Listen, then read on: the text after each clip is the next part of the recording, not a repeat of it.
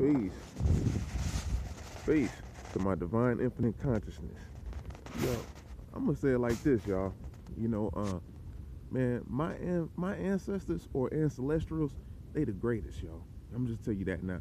They got my back. They've been having my back through the whole time. You know what I'm saying? It's just a, the same thing with the certain souls that are old in this realm that come to do the work. You know, we had to go through all those different uh, religions, denominations, whatever road you took.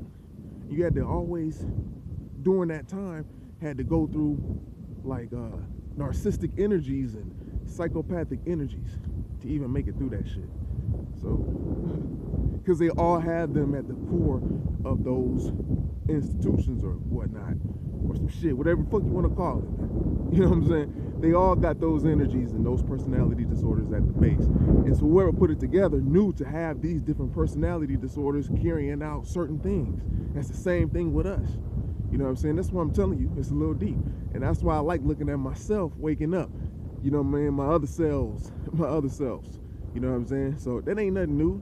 It's no new knowledge. We already knew it's 100 trillion cells. We know that we all ourselves.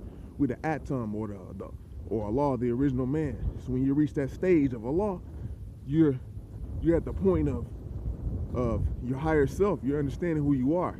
You know what I'm saying? You, you understanding the hells that you got to go through to come out right. You know what I mean? That's real love.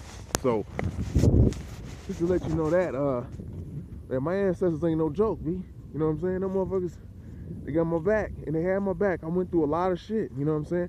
And a lot of us who made it through the 80s and the 90s and shit, the star babies, the 70s babies, you know what I'm saying?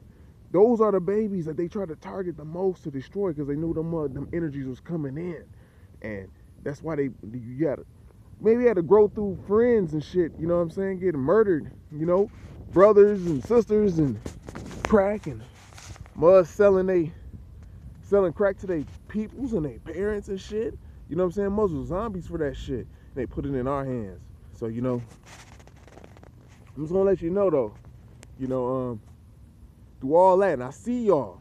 I'm just gonna let you know I see y'all, and I'm so glad that y'all up. We, we, I know you can do it. You can crush them little egos, and you can't really reach out to the right ones. You know who to reach out to. Everybody's making their self evidence to qualify, qualify.